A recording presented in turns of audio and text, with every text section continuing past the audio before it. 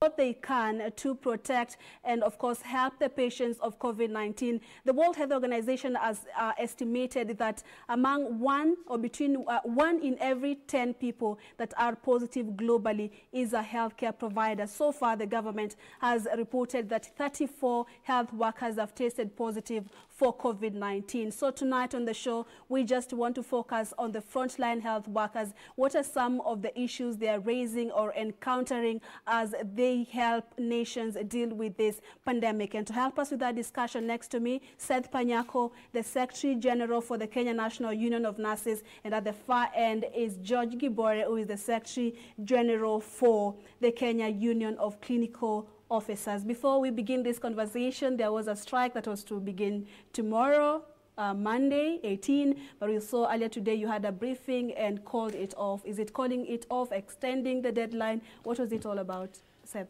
Yeah, the right word is that we suspended, or rather we extended the, the deadline for the strike and uh, we added 21 days to the government because uh, the main problem I've had with the government is that they have not been engaging us. But on Friday, we had uh, a very productive meeting with the representative of the Ministry of Health, where we discussed our issues. Among those issues discussed are those that are not even in the strike notice, issues that are historical in nature, that uh, other health workers feel like they are, the, the Ministry of Health has really been not taking serious about their issues. They have been only uh, taking care of one cadre within 18 cadres the Ministry of Health. So we discussed all those issues and uh, we looked at the fact that the new director of, of health, uh, health uh, director of human resource in the Ministry of Health is barely two weeks in the office. And the work that he, he showed us he has done with, within a period of two weeks uh, was a commendable job.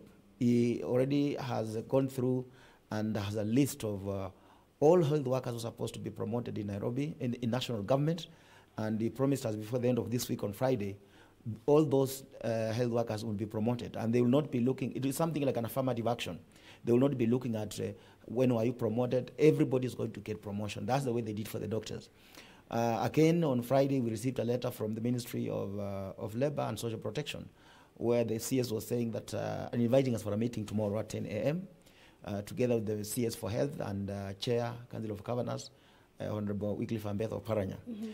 and those steps according to us were the right steps taken by the government, even if it came late in the day. What we are looking for is any avenue, any opening that the government is going to engage us, is going to take our issue seriously, and looking, we, we were going to embrace that because when you look at the situation in the country today, we are faced with a lot of calamities. Right. We have floods that have killed about more than 200 people. In fact, if we were to talk about uh, national emergency, it's not about COVID-19, it's about, it's about floods because we have lost 200 people. COVID, I think we are talking of 30 or how many people? Then we have the issue of locusts, wh- wh- which are destroying food in the, the northern part of the country. And then we have, of course, we can see on the TV, there's also political problems in the ruling party. So we want to appreciate uh, that the government has uh, taken some steps which we think are available. 21 days is not a long time. If they don't act, we will come and will come forcefully. All right. And um, Gibore, karibu sana to the show. You are you are also in that meeting of people complaining, or of course, pro, uh, healthcare professionals complaining. These are the clinical officers. So when uh, Panyako talked about uh, talks about some cadre or the government not involving or engaging some healthcare providers, who are these healthcare providers? Are we talking about nurses and clinical officers only, or do we have other healthcare professionals? Thank you, Purity, for having me. Uh, I need to say that, uh, as my brother has stated, we have given more time to the government to address our issues. And of course, one thing that is quite eminent is that the government has not disowned any of the issues we have raised. Indeed, I want to say, like what you have said currently, the government said only 35 have been, in, uh, been infected. As a union, we have a responsibility to protect our members. We have been following it up. We have our data that now demonstrate of around 43 healthcare workers, which the government has still not updated. I think these issues are across the world. That uh, the, uh, like here in Kenya, we tend to forget about the healthcare workers, even during this time where every resources is supposed to be geared toward the healthcare workers. And I want to say that uh, from here, we are, yes, representing two cadres, I think the, the nurses and the clinical officers. We have the medical laboratories, we have the pharmaceutical technologists, We have uh, the nutritionists, We also have many others like the public health officers. We have, including the cleaners and even the mortuary attendants who are never even spoken uh, or rather even uh, mentioned anywhere. Because by virtue of the work they do, including the hospital administration, because the environment we work under is the same and the facility we work are the same. So they are actually subject also to exposure similar to any other uh, healthcare workers. However, when now you look at risk assessment, you might find that it varies from certain cadre to cadres. So these are what we call the, health, uh, the frontline healthcare workers who the government has been giving actually a deaf, uh, deaf ear. But uh, we want to appreciate that, yes, we had a meeting as he has said, and of course the, the CS for Labor has written to us a letter appealing that we give them time.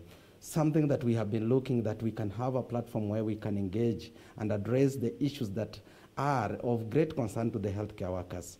They have given us that time. And of course, extending time, or rather giving them 21 days to do that, it does not bury the issue that we have been raising.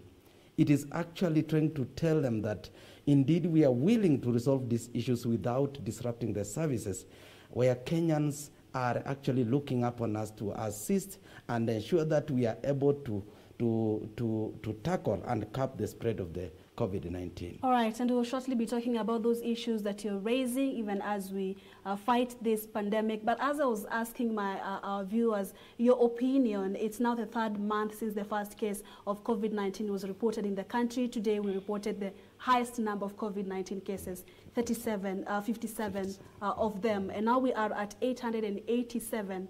What's your opinion, uh, Panyako, on the country's response to this virus so far? I think the response of this country has not been what is expected of Kenya as a country in Africa. Because when you talk about Africa, you look at which are countries look like they're the powerhouses of Africa. You look at South Africa, you look at Kenya, Egypt, and maybe Nigeria. So Kenya should have been actually testing almost 5,000 people per day. We should also put in measure, measures in place that we, we have to begin reopening our economy. Mm. But here we are testing 500 people, 300 people. You go to 1,000, 2,000. Here Tanzania has been doing 200 in a day. South, 2,000 in a day. South Africa has been doing 5,000. I don't know what Nigeria has been doing, but I think with the financial muscle that Kenya has, we should be way, we should even be testing 10,000 people in a day.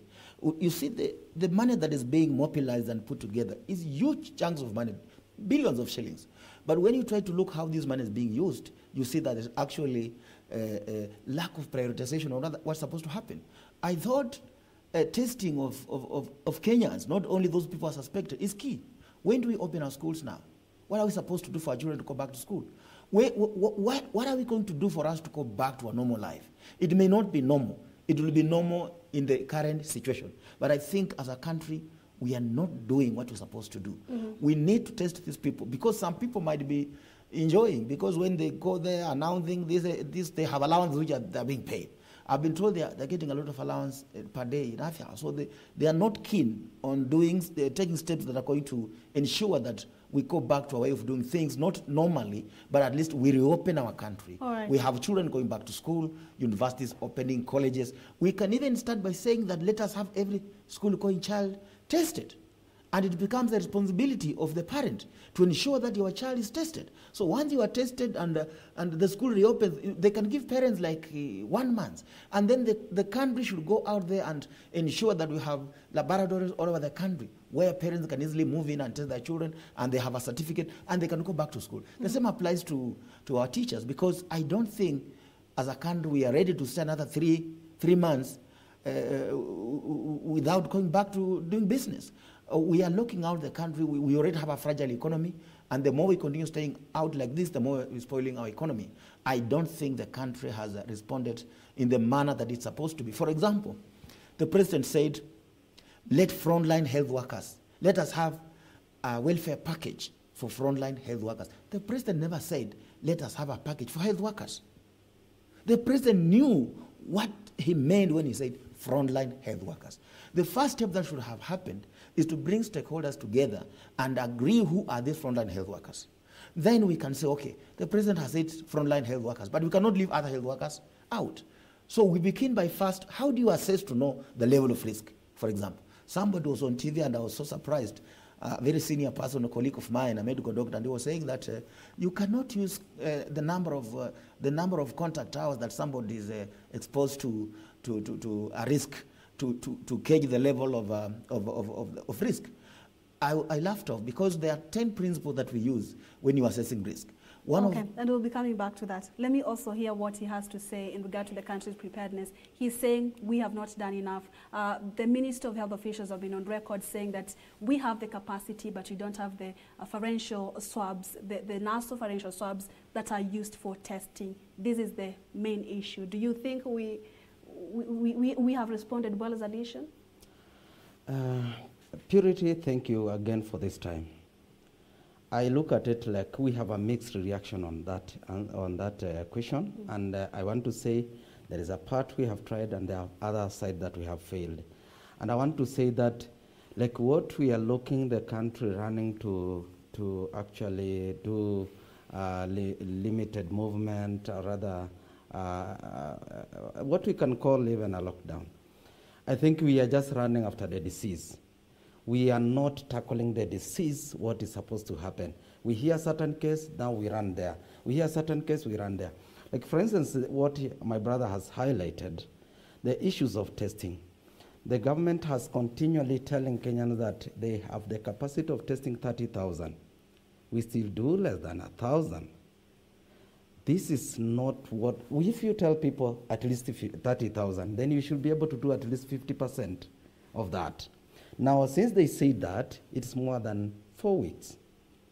And they have never moved to an inch to ensure that they are demonstrating to Kenyans that they are able to do that. This is even despite the Jack Ma contribution to this country, where he assisted this country to actually continue growing the capacity to test.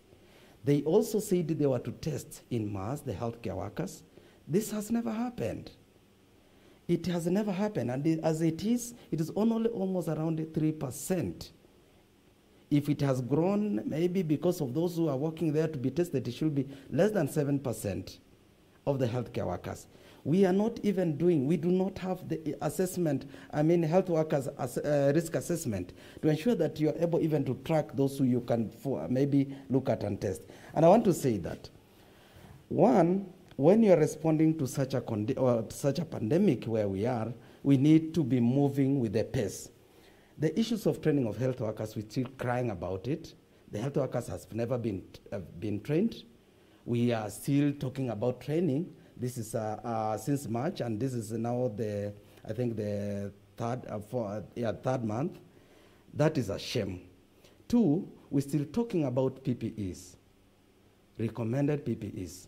Imagine you go to facilities, health workers, they don't have PPEs to protect themselves. Because if you don't protect the healthcare workers, you, don't, you cannot protect the community, the people who are seeking services in that facility, and similarly, you can't protect their family. So they will be a source of spreading the disease. All right. So, and the other thing I need to mention is that once you do those two, as we rely on the media to inform the country and the Kenyan, the public Uh, uh, education must be able to be physical and must be seen to be happening. And that's why you see a lot of Kenya resisting. When you militarize the process of testing, the way you pick people once I've been tested positive, the way you pick my wife, until the relative says, I cannot. And I want to say this. My wife knows I see patient, and she told me, if you test positive, don't ever say you're married to me. Because of the process and what they are seeing on TV that we must be able to tell people and explain to them what they are doing rather than actually criminalizing the whole process. This is actually against the, the WHO recommendation, and it has actually advised against this. When even you do the curfew thing, it must be in the line that you are supporting these people to adhere to the rules, not to criminalize. Because we have had people being arrested, put in the quarantine center, and then after 14 days, released home without a test. All right, and we'll be getting to those challenges, uh, Gibore. Uh, once again, you mentioned, Panyako, about reopening the economy. The World Health Organization has warned African nations, actually every nation, against lifting the restrictions they're saying that we first have to focus on the, on the testing of the people before we open the economy. But do you have an idea on how this can happen? If I was a mathematician, I will tell you to test 48 million Kenyans because everybody must be tested. It's not an issue of a few people. And you are doing an average of 1,000 per day. How many years are those going to be? How many years? I'm not a mathematician. At 40 million, 48 million divided by 1,000. No country has been able to test Maybe 400 the years. The entire population. You need 400 years or 40 years. I don't know. I'm not a mathematician, but you can do see- very quick mathematics. What I'm saying is this. At the rate at which you're moving in terms of uh, testing, because when you test is when you, you protect the people who's infected and those around him, uh, around that person. But the, if we look at the World, the World Health Organization saying that people should not open up their economies, they're not being sincere. Because Africa is, a, most, most of us are still underdeveloping countries. We are not even developing countries. So we, we, we, we will kill our economy. This disease is going to be endemic. You see? When it becomes endemic, it's not going to go away. It will be like malaria. So what we need is to quickly uh, move forward, do research, Kemri wake up and do your work, find a way that we can reopen back our country and protect those who are not infected from being infected. And you can only do this if you, you, you spear up the issue of testing. Let people be tested. Let it be like something when you are walking around, you can see it's being tested here and you go and you are tested. Then the testing itself has a problem. Uh, the way you saw those people in uh, Old Town in Mombasa complaining, you know, you, you, you're getting people there, and I also blame the media to some extent. You go, you see somebody's being, that thing is being put in someone's nose, the mouth, and pharyngeal. You can see how the patient's reacting. You think the others will come. I think the testing, those who are responsible, the laparary people, you must make sure there is privacy to the, to the person you are, you are testing. Don't expose them because you are making other people fear. Even myself, I'm fearing. If I get this thing, you mean these people are going to do this. You know, I'm a health worker, but I don't like the way it's being done.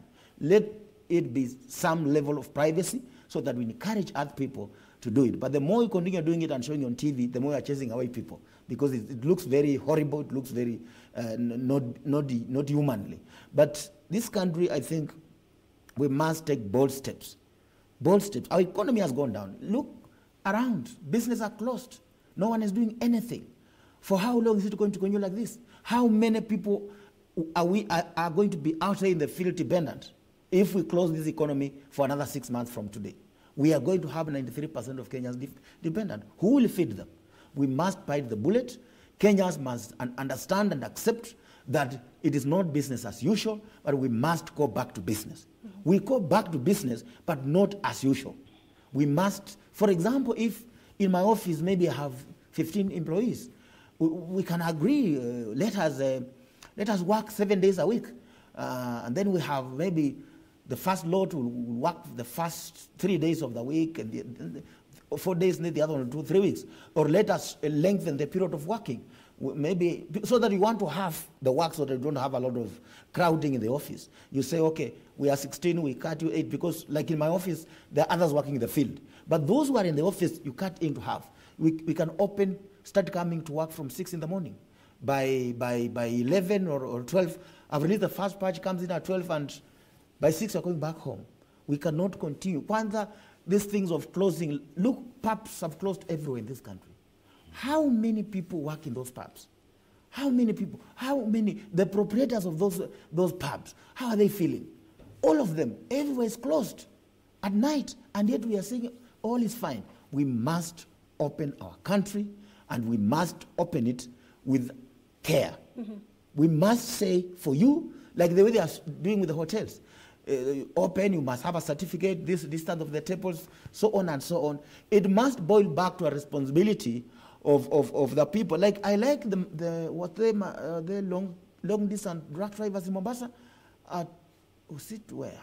I saw them taking responsibility, and they were saying, "Yes, we are accept to be tested."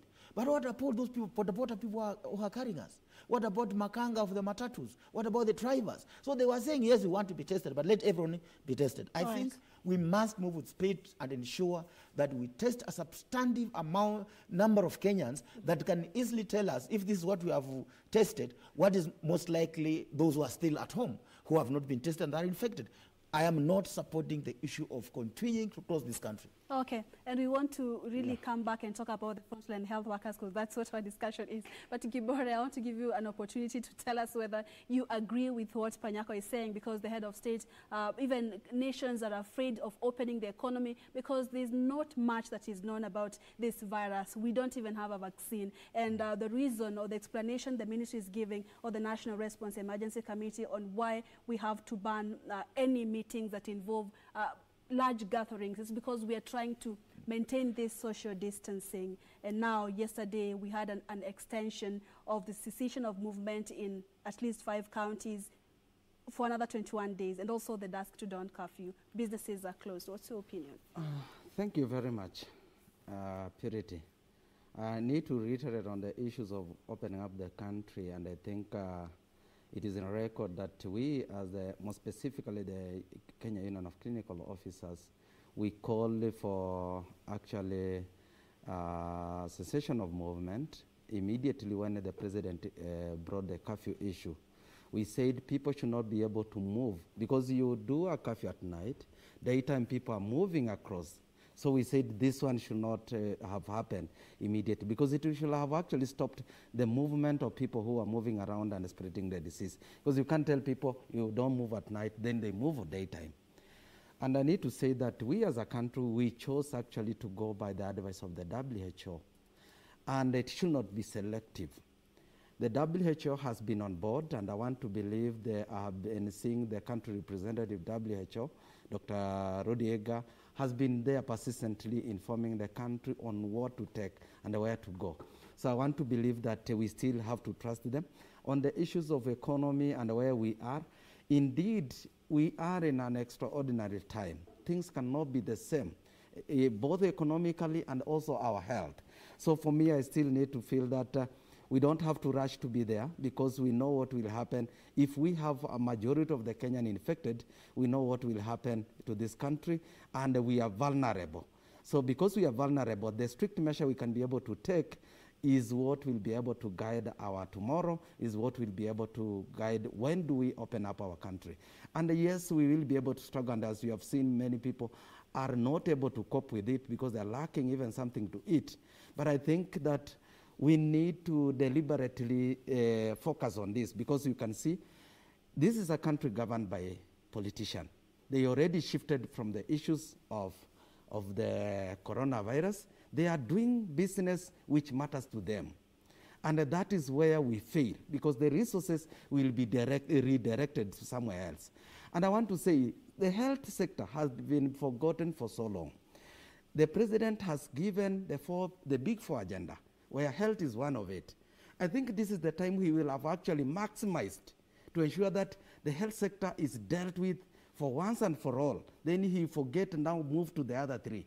If we did this during this time, including we saw 40 billion, including the other money that they are actually also borrowing, if they are directed to the health sector as they intend to, because I have seen their budget, is there is actually uh, around less than 30% directly to the health, and the other uh, money is actually redirected to other places. So we want to say that let the president reconsider his position. If he wants a legacy, he has been given an, a priority, uh, I, I, think a chance to ensure that he actually prioritizes the issues of health and ensure that he's moving this country to the right direction. Don't move to the politics. All right. Thank you. Uh, so let's now talk about the healthcare workers. They are the front line uh, right now in the fight against COVID-19 and I saw, if I'm not wrong, in part of your demands you wanted uh, a double allowance on the transport. Probably you can tell us what has changed since this pandemic. Uh, the truth for, is that... For, uh, you, for the healthcare providers in terms of the job... Uh, job satisfaction. Yes. The truth is that we have not seen much that has changed. Mm. We still have health workers who have not earned every salary as we're talking now. So we cannot talk of uh, even being able to have personal protective equipment right at the, on the, on the, on the, at the lower levels of, of healthcare systems when the, some of the workers have not earned salary. it, it is becoming a serious problem uh, in Kenya, uh, failure to pay salary on time by the county governments. And that's why we're saying one of the problems that should be resolved is to have the Health Service Commission to take care of the health workers of this country. Salaries, education, everything, promotion, discipline, so that we move away from the issue of us fighting for butter and bread in terms of we have not earned my salary to now uh, moving to the step where we are now going to, to be part and parcel of uh, resolving the problems in health sector in this country. But at the moment, we're still fighting for non-paid salaries. Uh, we, we, we went and we were asking many things when we, we, we issued, a, before we issued a strike notice. Among those things was about the, the high cost of transport in Kenya because most of public servants in Kenya, as well health workers, they use um, uh, public means. And that public means the measure that has been put in place by the government, we support and uh, we, but we support, but also they come in hand with uh, certain uh, cost of uh, cost implication. Now, when you have to use two seats and you are one passenger, definitely common sense tells you the owner of the matatu will have to double the price because you, if you, you don't do that, you will not be able to run that matatu. So we, we, that has not been done. We, we were asking that all health workers should have been tested right from when we realized that this disease has now come in Kenya. It has come, it now become a community uh, infection. But uh, we, were, we were told it was going to begin and has begun. Personal protective equipment has been a very serious issue in this country. We have been told a lot of money has been uh, mobilized, a lot of resources, they are but we are not seeing them on the ground. Where are they going? You go to a health worker and you are told that uh, you are supplied with a mask when you are going to duty at 5 in the, in the evening, and you are supposed to take one, with one mask up to the following day around 8.30. That gives you about 18 hours, when uh, uh, 16 hours when a health worker is supposed to stay with one mask. While the required standard is not more than five hours. Mm-hmm. So we have those problems. And we have another problem in the biggest referral hospital in Kenya, Kenyatta National Hospital. In the medical ward, we have patients who are discovered to have COVID 19 when they had already been admitted. One of them died. What they did was to send doctors to isolation. But the nurses and other health workers, support staff were left. They have now brought other uh, uh doctors to come and take care of these patients that the doctors have been put in, in quarantine. What will happen about these patients again? These doctors have been brought. So we want a hospital like Kenyatta National Hospital to lead by example. When there is something like that, treat all health workers as if they are equal people. Is it true that they are thinking that nurses are supposed to die? Clinical officers, sweepers, are supposed to die and you only take care of one person. This kind of injustice streams right from Afya House down to the health facilities. You can see the discrimination in Kenyatta. My officials are calling me day and night. Today I've received an official who's telling me he's working in an ICU, but he has come on duty. He has found that he has been allocated in an ICU that is specifically uh, uh, identified to manage COVID-19 patient. This is a person who has not been trained. He, he, he doesn't know how to, to, to go and take care of himself. And that's why we are saying that frontline health workers, to me, meant those health workers who are directly involved in managing this patient. Then those who are uh, in the screening area, like casualty departments, uh, outpatient, if they are, they are working, and then the isolation itself, the treatment area. Those who are the frontline health workers, the government ought to have given them special training and, of course, uh, gave them uh, special uh, uh, uh, terms of employment, terms of engagement between this period, so that these fellows don't go home. They stay in a place like a hotel. Then after you have worked for 14 days, because uh, WHO standard requires that when you are exposed to a risk for 14 days, you are supposed to be given a break you are tested. If you are okay, you are given a break. You, if, if no problem, you go back to stay with your family. After All another right. 14 days, you come back. All right. That's not happening in Kenya. Okay, and, and uh, before we get to the issues, uh, the exact issues during this pandemic, uh, Sabundi Peter is telling me, kindly ask Seth Panyako, what is the status of the 2017 CBA? The CBA is a 2017 CBA. You know, uh, it is one of the things that we had almost completed uh, we, have we were left with three issues. One of them was risk allowance, which you have heard us talk about the level of risk. You cannot pay an nurse 3,850 and you are paying somebody who's fourth line. you know, we have front line, first front line, second front line, third front line, and fourth line front line. You are giving a fourth line front line 20,000 and you're giving an nurse 3,800. You're giving a clinical officer 3,000 shillings without, without any justification. So we had not agreed on the risk allowance. But the way we were negotiating, there was almost everyone agrees that nurses should get higher risk allowance because uh, there was a document that was developed when Professor Nyong was the Minister of Health, and nurses were rated as high risk. This risk, but we are rated as high risk. And the proposal then was that nurses ought to have been given 20,000 shillings as risk allowance. It was never implemented. And then number two, uh, the, the, the, issue that we have not also tackled in the CP was the issue of grading structure you realize that when SRC came up with the grading structure, it said that it classified nurses into section one unskilled, another one semi-skilled. And we opposed that, and everybody agreed with us two levels of government that nurses are very highly skilled people. Even when you look at uh, Black Law Dictionary, you look at Oxford Dictionary, how they define a, a person who's skilled, what is required of you to be called a skilled person. You cannot read a nurse as a skilled person. Unskilled, when you go to a dispensary, you find a certificate nurse is the doctor, is the nurse, is the pharmacist, is the lab person, because at that at dispensary level, you hardly find a pharmacist. You will hardly find a pharmacist. You will not even get a lab. And you get two people actually, a watchman and a nurse. So, and you call these people same skilled. It is extremely wrong and it's un- unacceptable. The last thing that we, we wanted looked into was the issue of leave allowance. If you tell a nurse that leave allowance is 4,000, how do you expect me to go home with 4,000 shillings? So we want at least a basic salary, uh, no, no, uh, one month salary to be given to, to health workers nurses as a leave allowance. It's already happening in Moi Referral. We negotiated a very good CBA in Moi Teaching Referral Hospital, and all workers are given one month salary for leave allowance. And uh, so those are the three items that uh, is holding uh, uh, our, our negotiation. Then we have SRC grading uh, uh, public servants under Paterson grading structure. We have the Public Service Commission, uh, the, the Ministry of Public Service, which has brought up another grading, uh, grading system, which is not like Paterson grade. There's a lot of confusion uh, between uh, arms of government res- responsible for management of human resource. Public Service Commission is doing something different. Public Service Ministry for Public Service and, and, and, and uh, Ministry for Public Service is doing something different. SRC is doing something different. State corporations are doing something different. The reason why SRC came up with the Paterson grading structure was to ensure that every public servant in Kenya is paid uh, e- equally. That's where equity comes in. Because if I'm a nurse and I'm being employed, uh, for example, at Job Group C1 uh, at the first entry point, that should happen everywhere in government institutions. But everything, when they did that Paterson grading, they saw, oh, if this thing we implemented the way it's supposed to be, nurses will get a good salary. So they revert again to the old one. Okay. So that way, that's where we are. We are the problem we have. The, the ministry is telling us we need to use the, ministry, the, the grading structure for public from the public service min, Ministry of Public Service.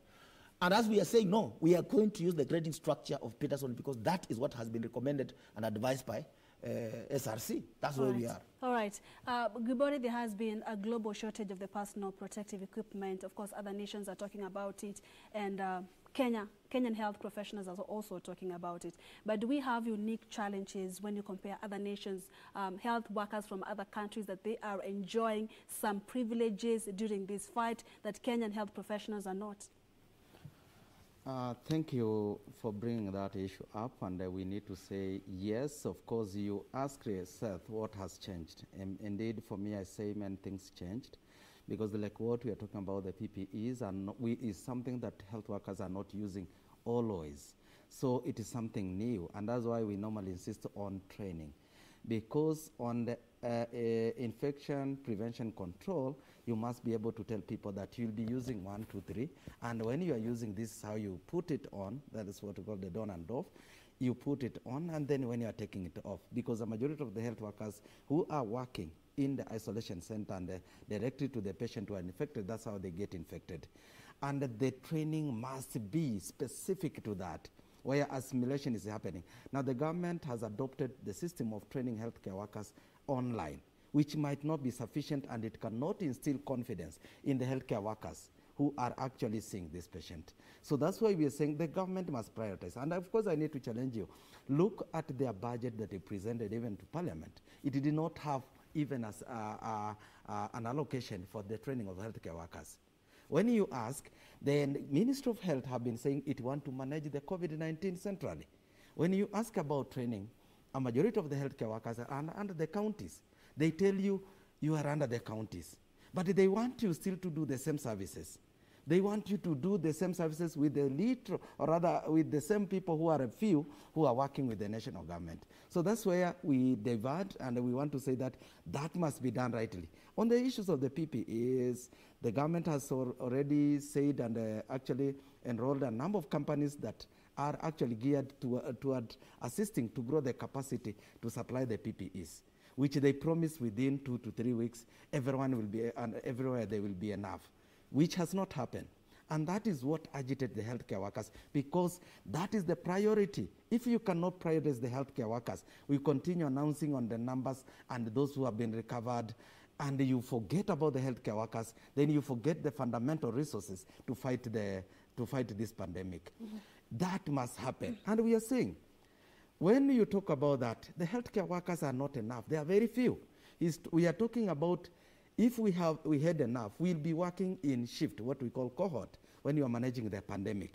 You don't have everyone working the same time. So that you, if one of them tests positive, then the people who are along that cohort, then they will be taken for quarantine and the services will continue to be running with the other group. This is, has not happened in our country, and the government has not adopted a structure on how to ensure that they are rolling this one out. And when I talk about this, it is painful because one, when you saw what happened in Ngara, when one of our officers tested positive, the facility had to close down. What are you telling the community? That this is a facility spreading the COVID 19? And the people now shy away from coming to the hospital? That is a bad management and they need to change. And when we talk about the few, is that the government also resolved to employ more health care workers. They said within one week, we are more than actually six weeks. They have not employed these healthcare workers. Where did the agency change? Where did the importance of having these people working change?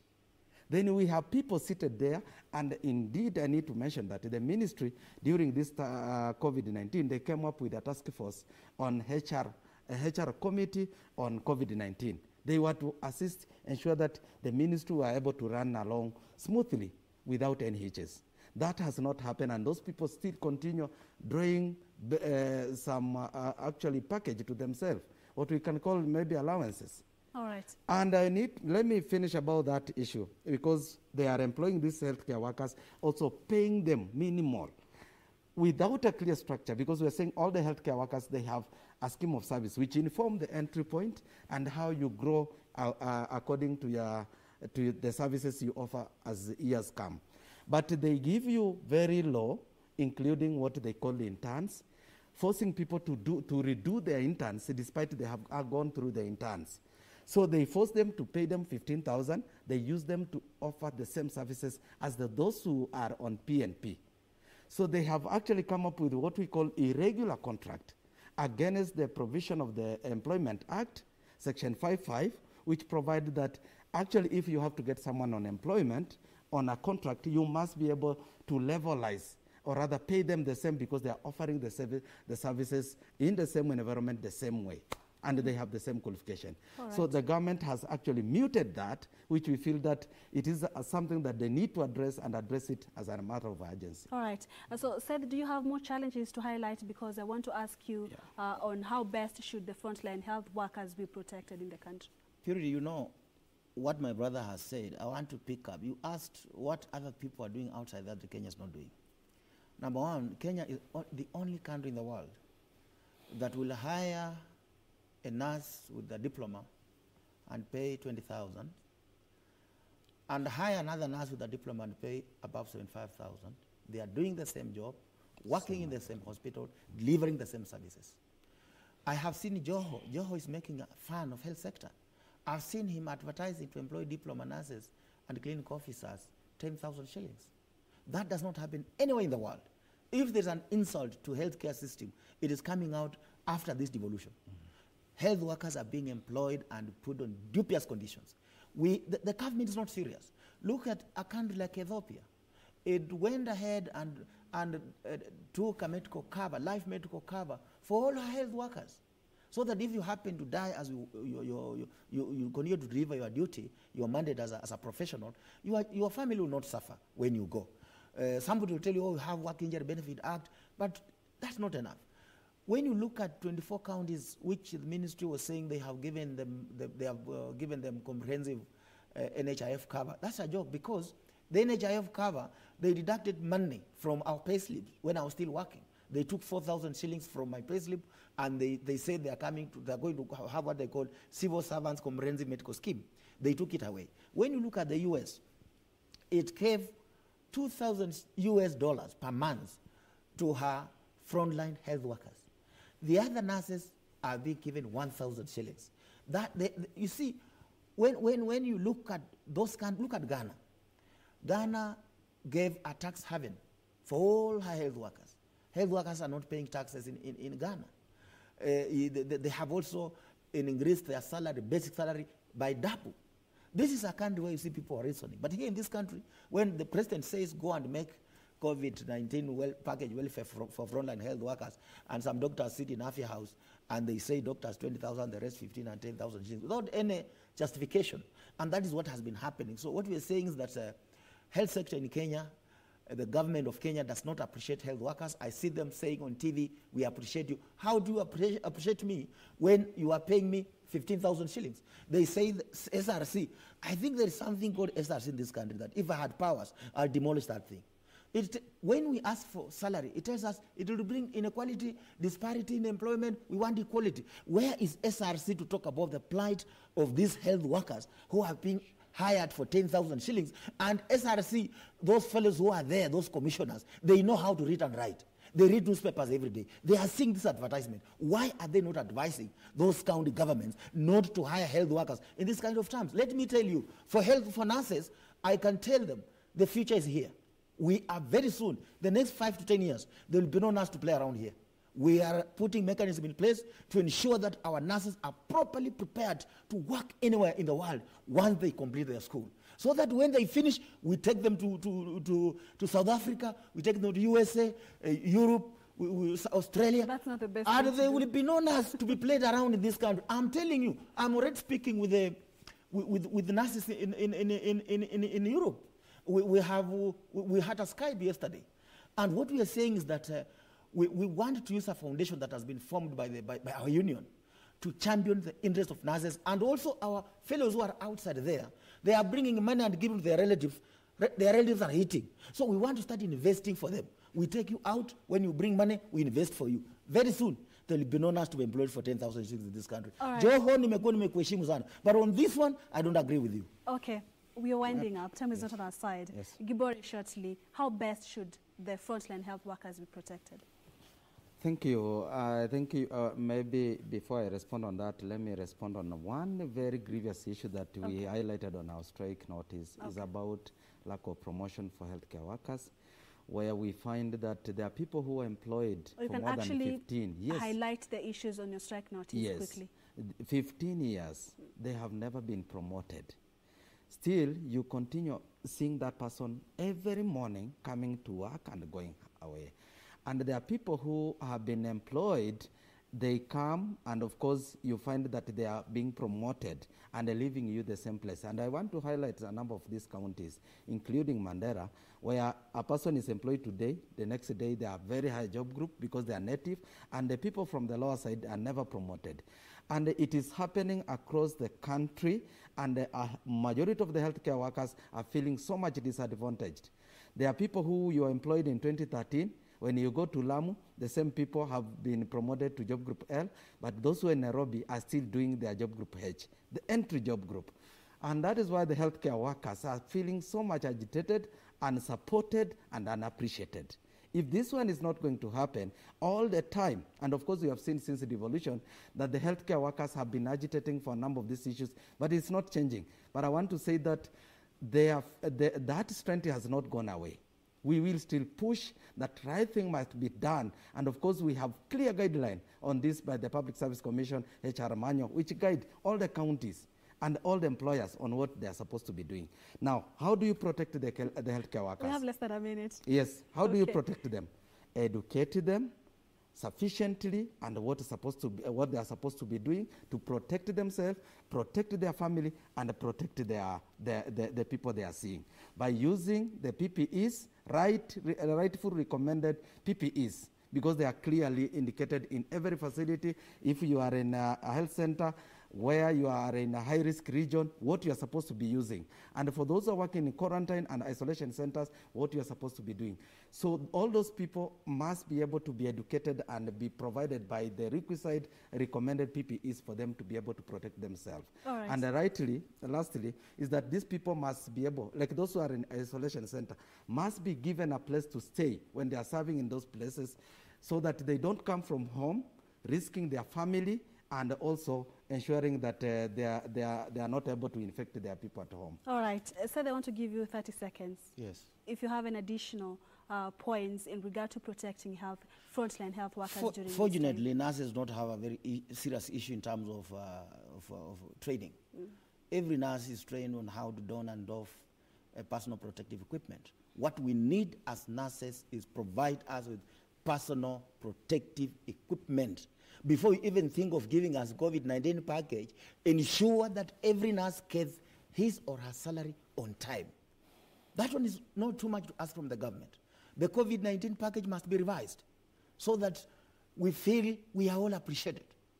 But as far as I'm concerned, I want to thank the nurses of this country and the health workers in general. Despite the fact that we are working in very uh, hardship conditions, we have put in all that we can put in. As much as we lament and say things must be improved, we continue to risk our lives. You continue to work and protect this nation. I clap for you the way others are doing. I give you mine. Thank you. Continue like that. As your leader, I'll continue fighting for your, your rights relentlessly. Okay. Seth Panyako, Secretary General, Kenya National Union of Nurses. George Gibore, Secretary General, Kenya Union of Clinical Officers. Thank you so much for your time. And we also clap for you for representing the nurses. and uh, let me finish with this tweet. Dr. Dr. Godfrey, you're, you're calling yourself at, at, at Ndungu Jr. on Twitter, sending a very emotional message saying, Last night at midnight, my team and I sacrificing our sleep to attend to a distress call. Indeed, we are celebrating you tonight and every single day as the world continues to battle this virus. Now, I want uh, to leave you with two things. One, weather forecast. And number two, President's message during this time of course, fasting celebrating the frontline healthcare workers on the tremendous job that they are doing to protect these community, communities and the country. And number two, the call to just adhere to the WHO recommendations on washing your hands, staying at home, social gatherings, wearing on that mask, and so forth. Why don't you listen to the president himself? Thank you so much. That's coming up shortly. Thank you for your time. Thank you for watching. Your feedback time is not on our side, but I promise I'll sample you. I'll be having a look at them off air, and I'll also see you again next week on Sunday, same place, same time, of course, with a different discussion and different guest. I'm Purity Museo Baron Abuli, has been our sign language interpreter tonight. Good night. God bless.